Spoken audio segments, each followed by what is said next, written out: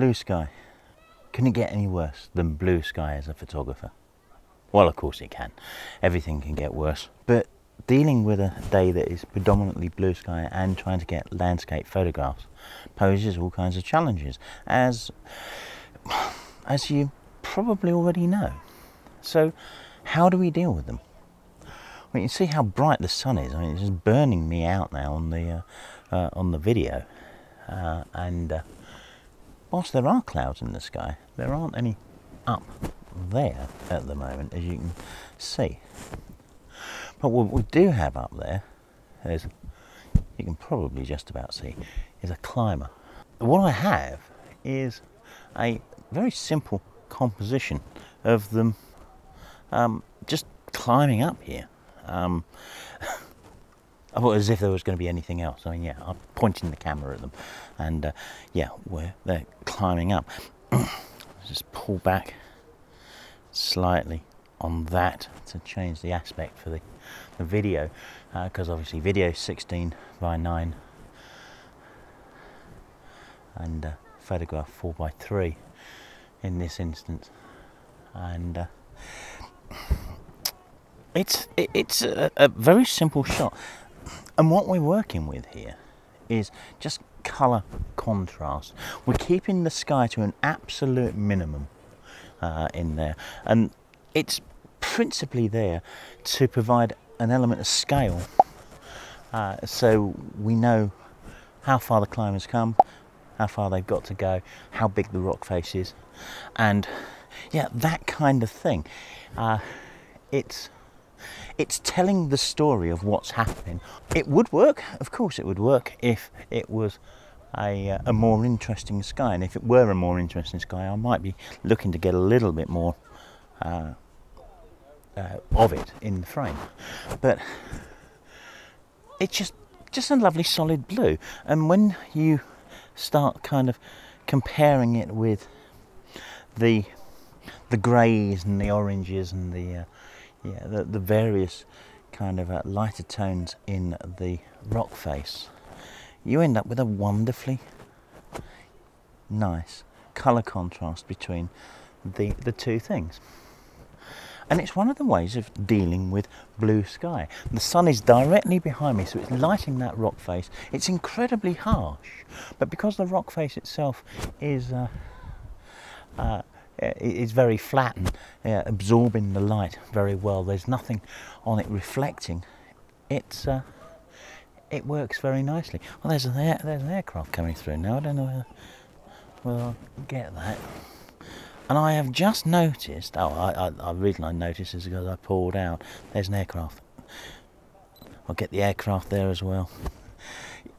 Might be a, a tudge, a tudge, tudge, tad, a tad of interest there. Anyway, I'll uh, I'll show you the shot. Uh, I'm rather pleased with it. I mean, it, it's simple. You know, I I spotted it. I pointed the camera, a bit of colour contrast. Let me know what you think.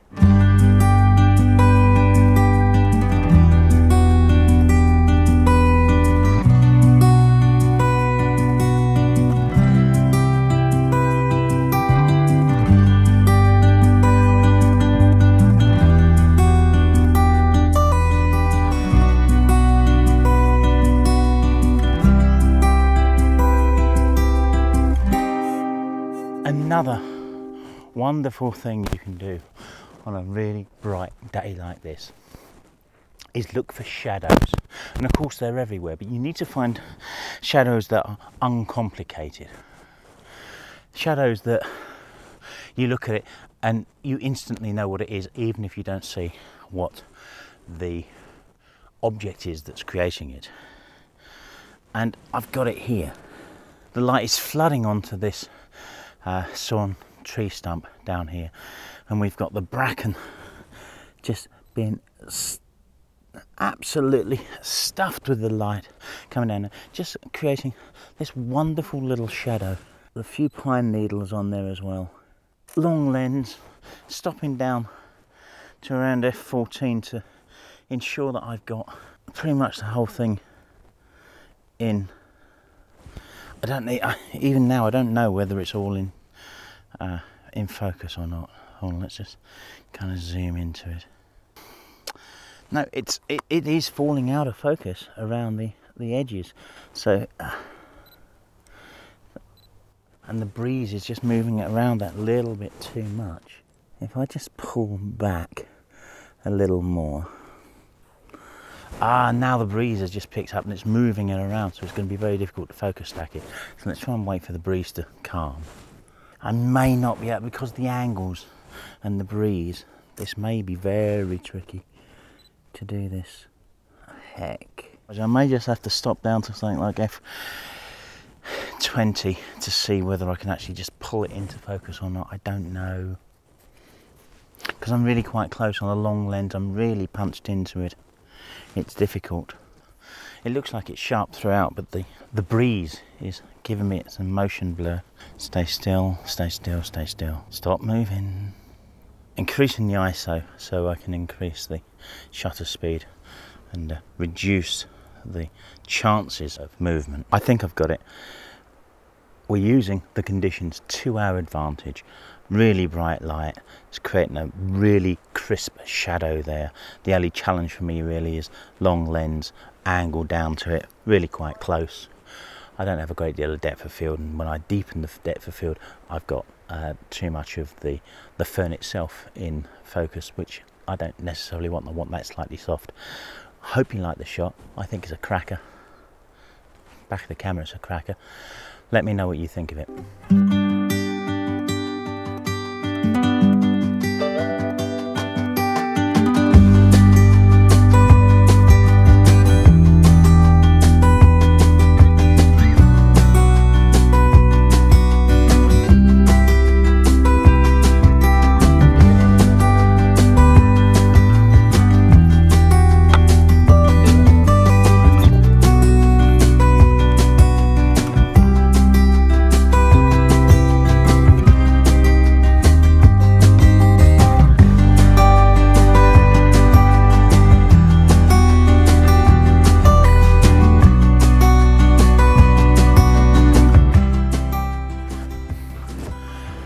Suppose it's important to say that I've not been here before. I was kind of just expecting to scout. I wasn't expecting to get a great deal of, uh, well, anything today because yeah, very harsh light, um, blue sky, but it's actually given me an opportunity. Now I came here because I was kind of in the area and I saw Nigel Danson's uh, video where he came to the Roaches because uh, it's quite close to his house and uh, uh, and did a, a, a morning sunrise shot here. And he got some very nice photos looking.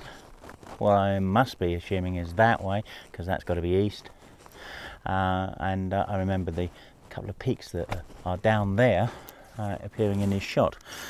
Um, I've walked in the opposite direction up here and there's this little I'm going to call it a tarn. I'm sure it's not a tarn. I'm sure in the local parlance of uh, of um, Staffordshire. This is not a tarn, but it's uh, it's it's what I'm calling it, and it's actually quite nice. I, have been walking backwards and forwards, trying to find a composition that kind of works with this, um, and every now and again the uh, the wind just flattens uh, to not very much, so we get a reflection on it of the of the rocks over there, which is very very nice.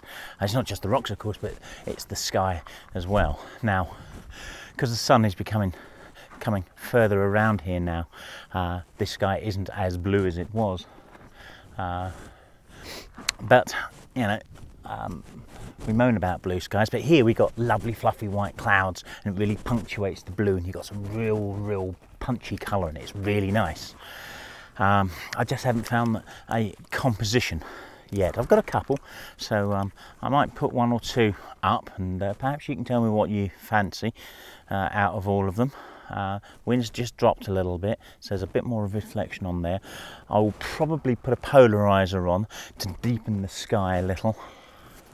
Um, or I might just do that in post because as I deepen the sky I also affect the reflection um, so yeah, horses, horses for courses. I don't know whether it's horses for courses or just a mistake to use it or a mistake not to use it. So perhaps I'll use it and I won't use it. I don't know. There's a dragonfly flitting around over the water there.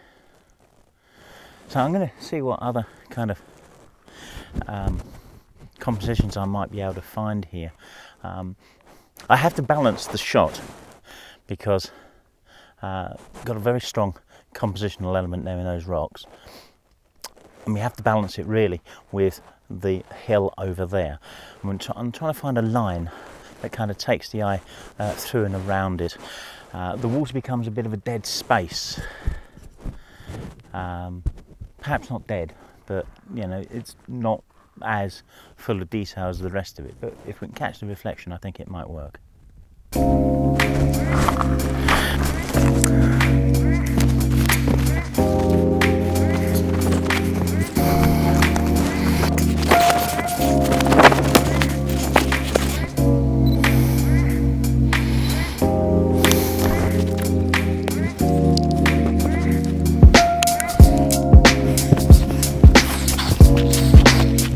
Quite some variety in that lot.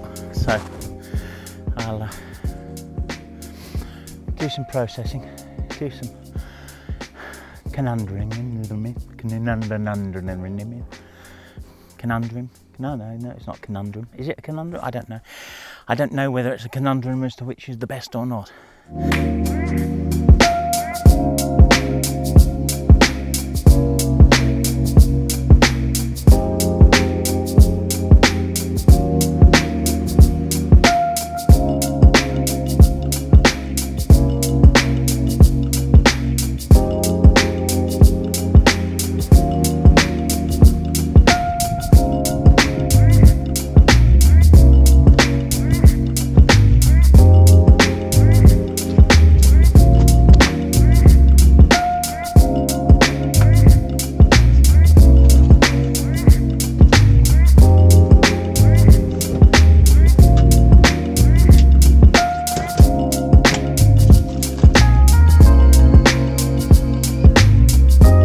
Place is a bit messy. I've got tools out and all kinds of things because I've been playing about with the electrics a little and uh, working out some new cabling and uh, yeah, working out how I'm going to fit this uh, charger and uh, indeed where I'm going to fit it.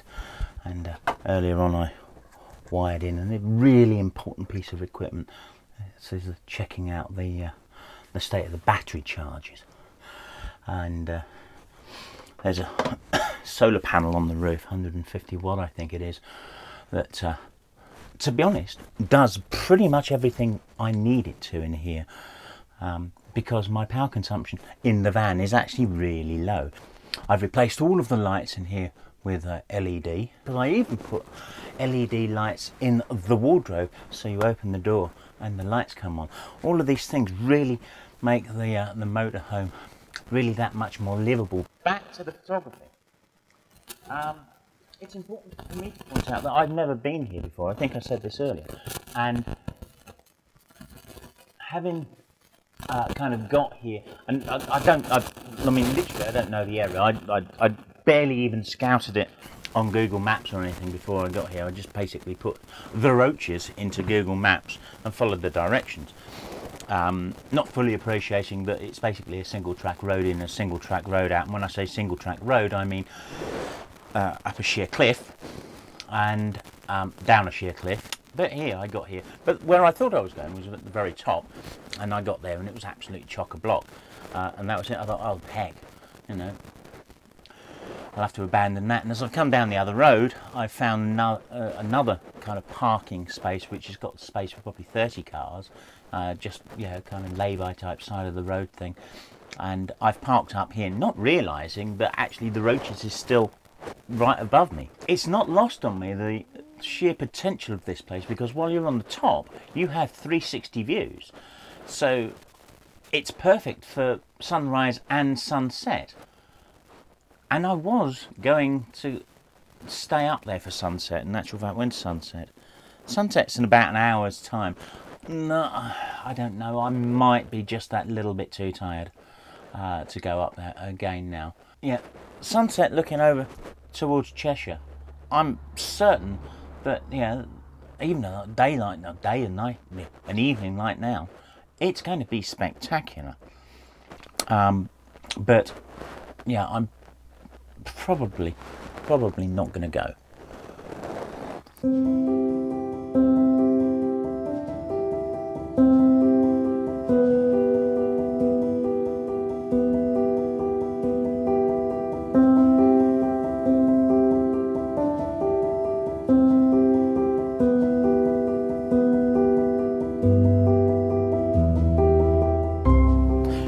If I do get up for sunrise, it'll be another video because uh, this one's probably rambled on long enough.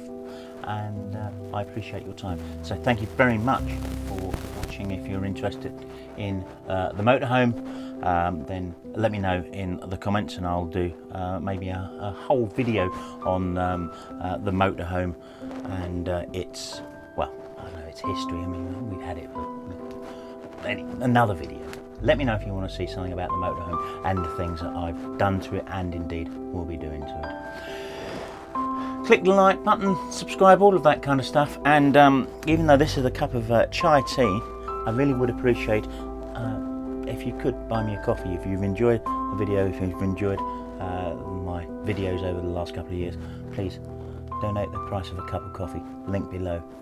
Thank you for watching. We will see you soon. Take care.